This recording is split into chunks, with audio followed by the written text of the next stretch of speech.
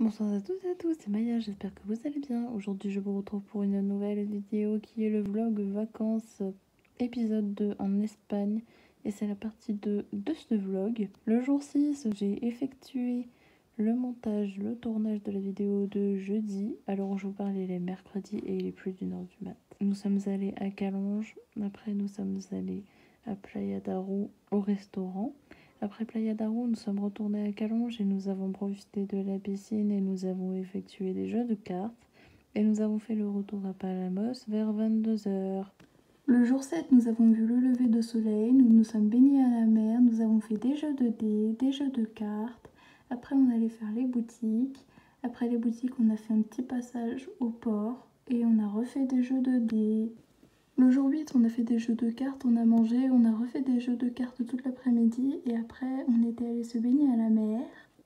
Et le jour 9, nous avons vu le lever de soleil et nous avons pris le train pour rentrer. On espère tous que cette vidéo vous aura plu, si c'est le cas, n'hésitez pas à liker, commenter, partager, voire même vous abonner. N'hésitez pas à nous suivre sur Instagram. Au revoir YouTube.